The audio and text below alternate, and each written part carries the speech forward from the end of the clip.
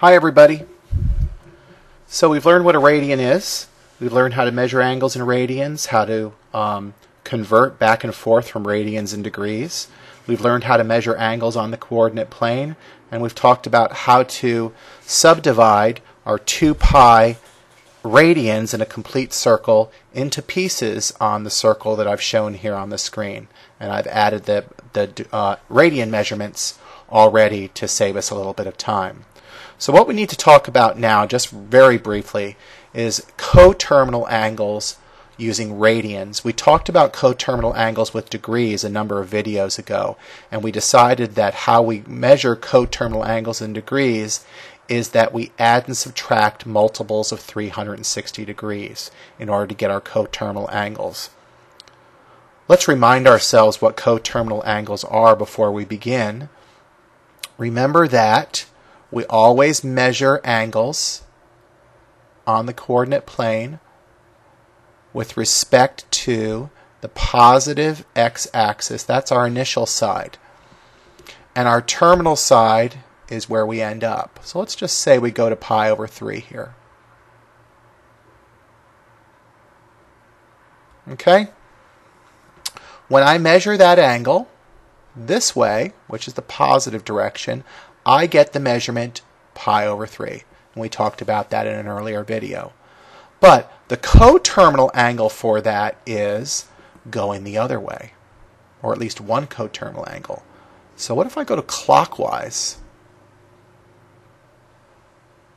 What if I go clockwise around this circle instead of counterclockwise?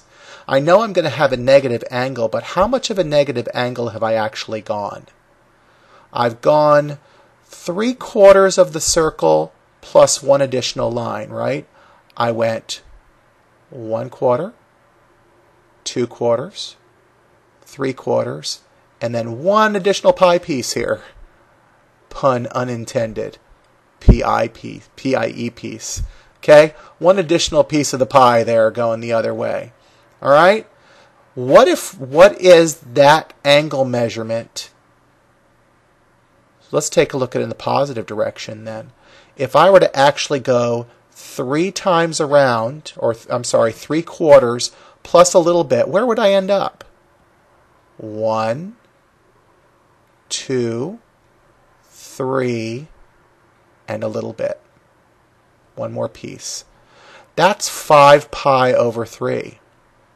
That's how much that angle is. But since we went in the negative direction, we can say that that angle going around the blue here now is negative 5 pi over 3 radians. So pi over 3 and negative 5 pi over 3 are coterminal angles. One is measured by going clockwise around the circle, that's the negative, and one is measured by going counterclockwise around the circle, that's the positive. The red is our positive angle, the blue here is our negative angle. Okay? Actually, what I probably should do, let me do this real quick. I'm going to get rid of this green so it doesn't confuse you.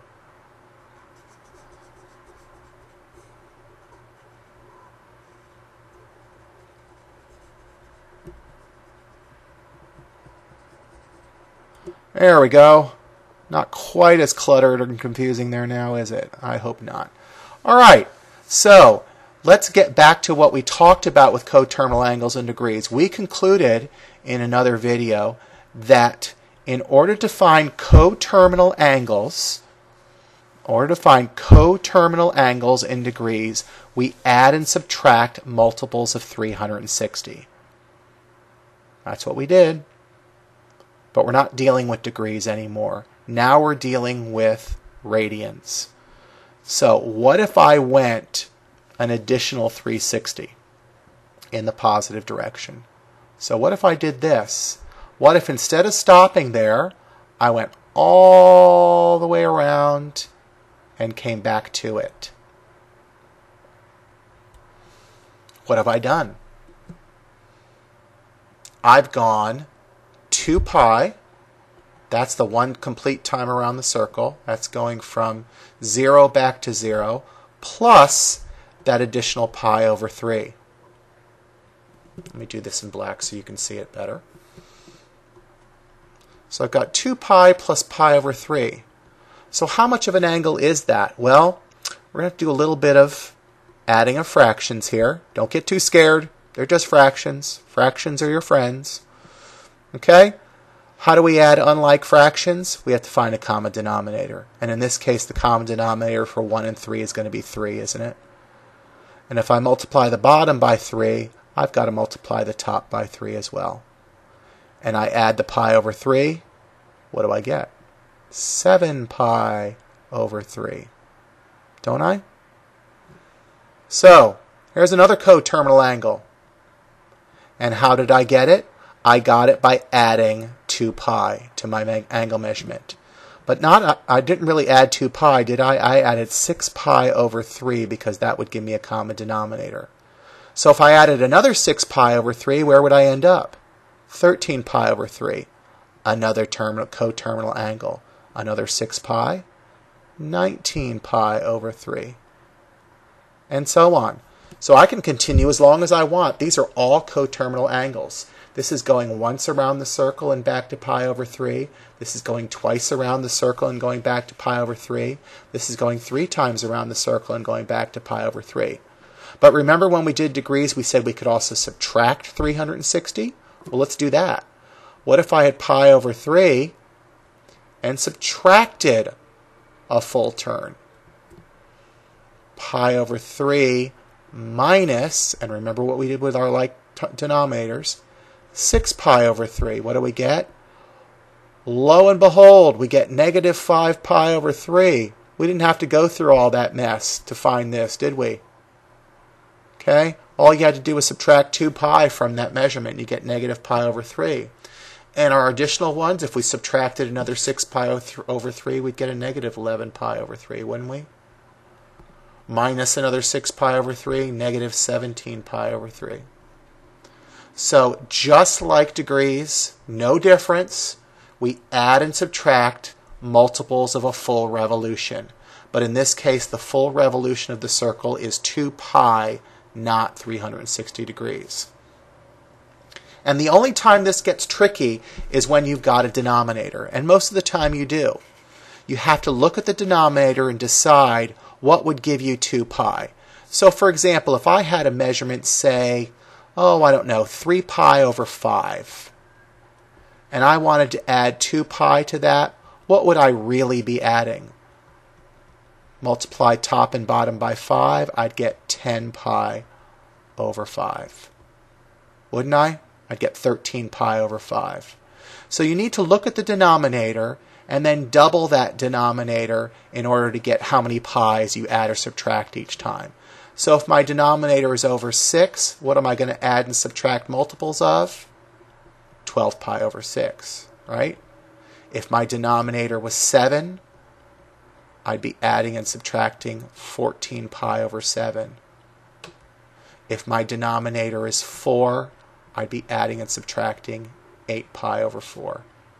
In each of these cases, those fractions are equal to 2 pi. Okay, let's do one just to be sure. Just want to make sure you've got it. I want to do one more quick example. Let's say, let's just do a very, very strange one. Let's say I had 9 pi over 11 radians. And I want to know what are my coterminal angles, or at least one positive and one negative. So what could I do? Add 2 pi to it. What did we just talk about? we need to convert that 2 pi into something that has an 11 denominator. So, what would we put on top? 2 times 11 is 22 pi, right? So my first coterminal angle would be 31 pi over 11. My first negative one minus 22 over 11 would be what? negative 13 pi over 11, wouldn't it? Sure would. Okay? So that's how we find coterminal angles in radians. We add and subtract multiples of 2 pi, one full revolution. and remember to use a common denominator that matches the denominator of the angle you're looking at. Thanks a lot.